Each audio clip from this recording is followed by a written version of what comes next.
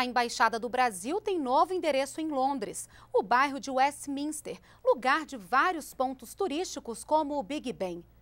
Para marcar a inauguração, a presidenta Dilma Rousseff abriu a mostra Brasil no Coração, que destaca o potencial turístico e a criatividade do nosso país.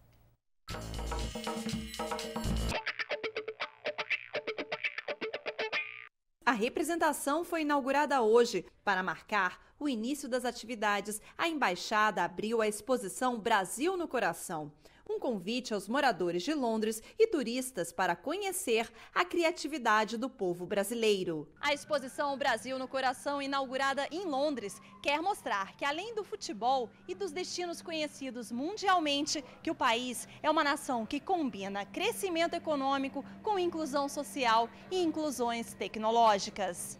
Pela capacidade da nossa população nos mais diversos domínios de inovar, de criar, seja na ciência, na tecnologia, na mobilidade urbana, na mobilidade social.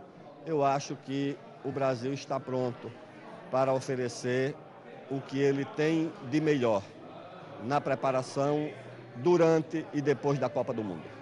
A presidenta ganhou um livro que trata de criatividade e um quadro produzido por artistas da favela da Maré, no Rio de Janeiro. A gente existe para inclusão social através da arte e propagação da afetividade. A Maré ela entra nesse aspecto porque nós ensinamos arte né, para que as crianças possam desenvolver arte, que os jovens possam desenvolver arte. Os brasileiros em geral são muito criativos, não, não aceitam restrições, né? ou seja, gerar novas ideias, gerar novas alternativas é uma coisa típica do povo brasileiro.